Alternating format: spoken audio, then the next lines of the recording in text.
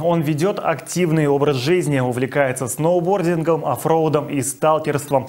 И в профессиональном плане также не может сидеть на одном месте. Александр Иванов, бригадир на участках основного производства цеха подготовки Аглы-Шихты, был признан лучшим в своей профессии по итогам прошлого месяца. Нашей съемочной группе он подробно рассказал и о своих увлечениях, и о любви к металлургии.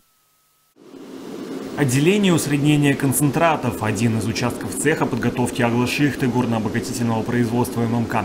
Именно здесь вот уже два года трудится Александр Иванов. Как бригадир на участках основного производства он следит за каждым из технологических процессов. Моя задача непосредственно это следить за, технологическим процессом. Что входит в технологический процесс? Это складирование готовой продукции, в штабеля, то бишь штабель 1, штабель 2. И отдача э, непосредственно на агломашины путем э, машин двухроторного типа. Благодаря им мы усредняем штабеля и отдаем на агломашины. Отделение усреднения концентратов – это самый крупный, современный, закрытый механизированный склад сырья на ММК. Его длина 560 метров, ширина 98 метров. Здесь внедрено новейшее оборудование для качественного перемешивания и усреднения сырья для агломерации. Сейчас, в данный момент, мы видим, э, как у нас идет э, забор материала из главного штабеля. Э, мы сейчас осуществляем усреднение готовой продукции и отправку на агломашины. Э, рудозаборная машина двухроторного типа. В данный момент у нас работает конвейер номер 503. В данный момент это у нас идет основная нитка. Также у нас есть зеркальная нитка на другой стороне, конвейер 501. Там сейчас, в данный момент, этот штабель подготавливается, он только закладывается. О своей работе Александр готов говорить часами. Металлургия для него не просто профессия, это призвание. Сейчас молодой специалист учится в университете, получает высшее образование, считает, что в любом деле важен постоянный рост.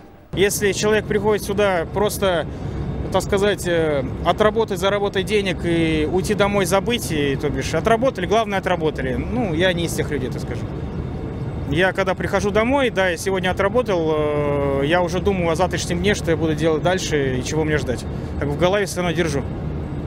Как бы я постоянно в работе. Цели-то как э, они амбициозные, как бы хочется расти, расти, расти. Для роста нет границ. С Александром Андреевичем мы работаем с самого начала запуска этого участка, с самых первых килограмм руды на этих складах.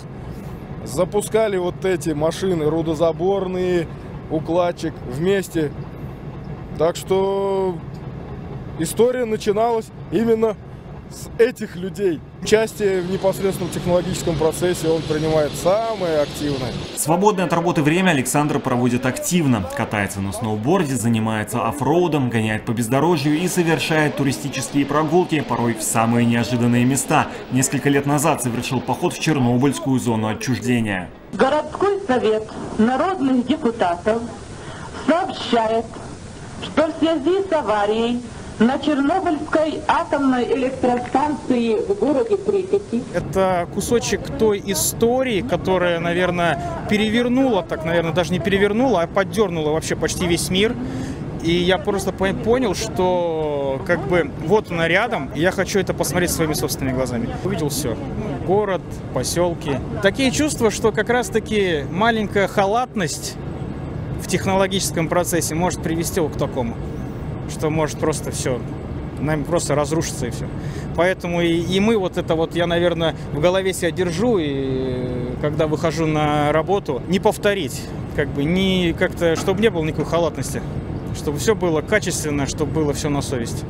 Как бы, конечно, у нас сферы, конечно, этих примеров подскажу разные, металлургия и как бы атомная энергетика это разные, но именно ответственность, она должна быть везде.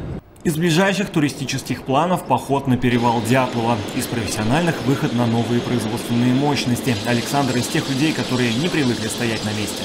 Павел Берсенев, Евгения Салахуддинова, Александр Мургунов, телекомпания ТВИН.